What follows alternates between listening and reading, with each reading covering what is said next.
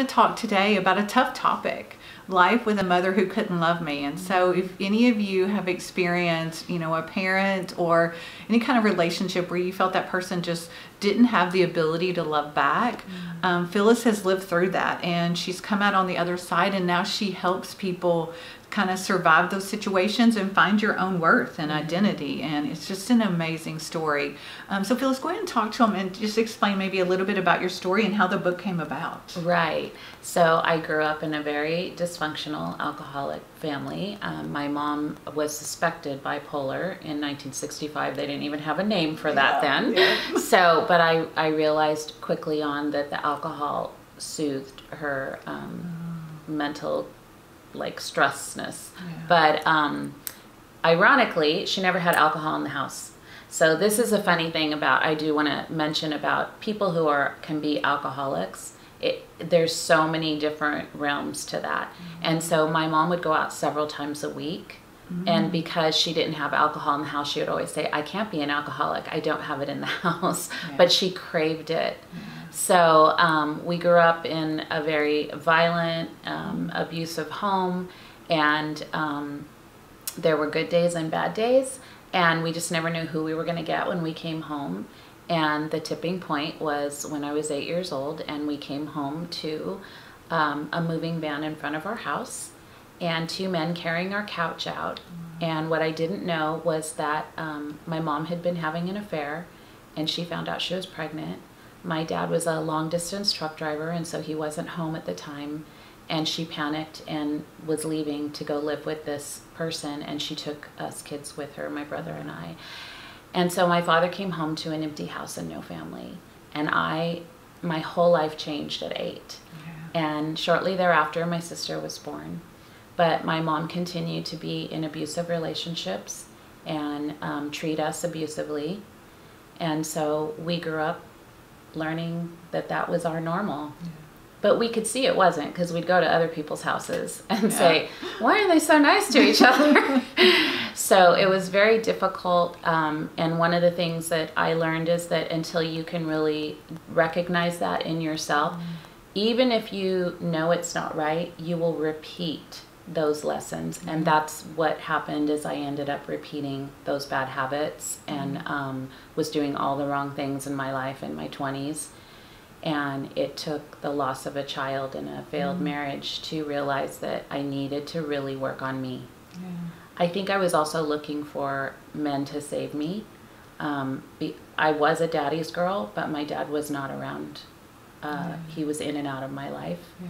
and so um, i craved that attention yeah yeah well and i think you see that sometimes just so many that work so hard and um, mm-hmm. yeah so if you would I'm just wondering, like, you know, there were triggers that sometimes you would come home and you're like, okay, we're going to have a good day today, or we're not. So, did that follow you into adulthood where, not that it's PTSD, but that you would have triggers of. That's so good that you, yeah, you definitely come away with trauma. I have triggers to this day. Yeah. I have a really hard time with people um, getting too close to me oh. because I've had situations where my mom would bring people home and it was not a good yeah. situation. And so, um, yeah, you definitely walk away with those things again have to recognize. Um, i have a wonderful husband who knows there's certain things i really don't like. I'm like it's yeah. it's a definite no. And yeah. sometimes he'll tease me like i don't like people touching my feet. I don't know why but i and he he tries to tease me 30 years later. He, he's like come on i go don't you dare. Or just like someone breathing near my neck kind of thing. There's just certain things. And so when you recognize those things, you have to speak out on those things and let people know it's it's okay to walk away with those traumas, yeah. but you have to know where to deal and place them. You don't want them to take over your life. Yeah. And so I've learned um, that there are hard no's in my life that I don't like that situation or I don't like being over here or whatever it is. Yeah. And um, and then it just surrounds my world with peace. You know, if I surround myself with like I'm a very probably sanguine person. I, I, I have to have beauty around me. You know, I have to have oh, flowers yeah. and I have to smell things that are nice, and yeah. that just brings me a lot of joy. So And that's great, like to know yourself Mhm. and and and it's totally okay to do that. You're not being selfish. Like you were Mm-hmm. Taking care of yourself. It is self care, yeah. Yeah. And I think that is one of the things uh, I would say um, to anyone that has gone through that kind of trauma is take care of you and and treat yourself well because you deserve it. And um, you know, we had talked earlier. I think because of the smells, I love good smelling things. When my mom was baking chocolate chip cookies, I knew it was going to be a good day. So the smell of food brings me joy. So I love to cook. So as a mama mentor now, I often invite these girls to my home, which is a beautiful, safe home that has mm-hmm. lots of beauty around it. And God has told me it's not just for you, it's for others. Mm-hmm. And so I bring them in, I make them a meal, and then we talk. And they mm-hmm. often stay longer than they're supposed to because they say, it's so peaceful here. I just want to stay here. And I said that this house is blessed. Like it, this is what it's for. So um, God's allowed me to have beauty around me, but He's told me it needs to be shared. So you mentioned too about the mama mentor. So explain to them like how you have taken this to Mm-hmm. Oh my gosh, We well- talked about your mess to your message. Yeah. It's, it's you now your message. So it was, um, I call it a coincidence. it was organically started. This is how the book came about. So I started becoming a co leader um, for different women's ministries. And every time I would share a part of my story, you know, at the end of the night, you go to the little coffee bar and you're getting your coffee, and I turn around and there's a young little girl, and she's like, um, Phylis? Can I talk to you? Can we meet for coffee or dinner or something? I'm having this struggle with my mom and sh- or they would say something you said just really struck me and i realized no one was talking about these mommy issues and these girls are growing up and repeating the same bad mistakes and so i would meet these girls for coffee or dinner and we would have this conversation but it started growing where it became a ministry and i it wasn't something i wanted to do and god just was like you could write a book and you could go out and spread it to the world because there is a lot of need. Especially now i think because moms are busy there's a lot of broken families so moms are working which mm-hmm. means the kids are at home alone which means trouble abounds you know mm-hmm. like they're stressed they're disconnected. Mm-hmm. Um, there was something dr phil had said the most important person in your life is the same sex parent. And i thought mm. well that's true if the parent is good. But if the parent isn't good then what happens that's the most important person in your life and you can't depend on them. Yeah, so what happens to that girl? Yeah. and that's what bothered me is that's what hap- that happened to us is that my i craved my mom's love and it wasn't that she didn't want to she just couldn't. And so i grew up just really looking at different i had mentors i remember women in my life coming alongside me and guiding me and i thought I need that so bad. And I feel like that's what's made me the woman I am today. And so for me, it was like a give back, a pay it forward. Yeah.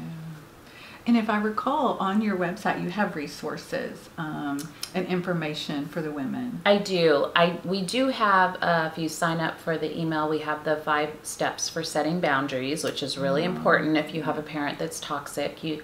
My main goal is to teach the young girls that you need to create the family you deserve and desire that God has for mm. you, which does not include the family members that are toxic.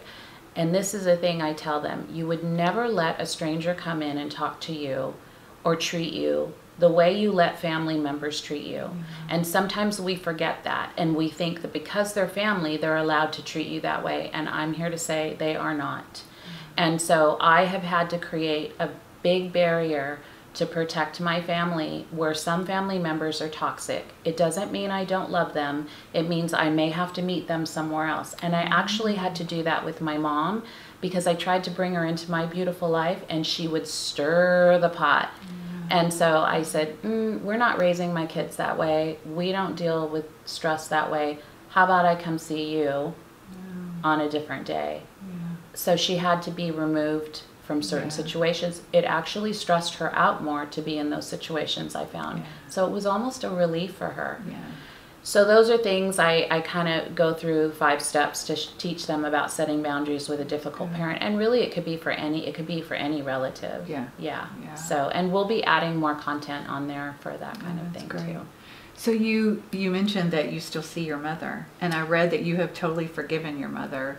So any tips like for people to kind of at least start going in that direction because that's Right. that's tough. Well, so my mom passed away in Oh, 2007. So um, it shows the journey of taking care of her. So she actually got hurt. She broke a hip, and the hospital called me out of three kids. I'm like, why?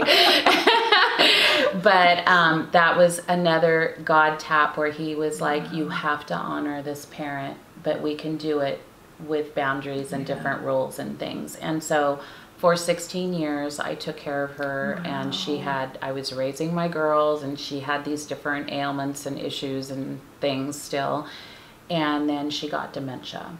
Oh, And so we ended up having to put her in a nursing home for the last 10 months. And I got therapy there from the therapist. She brought me in one day and said, Stop micromanaging. Like, you can let her go, go live your life. It's good. And I just burst into tears.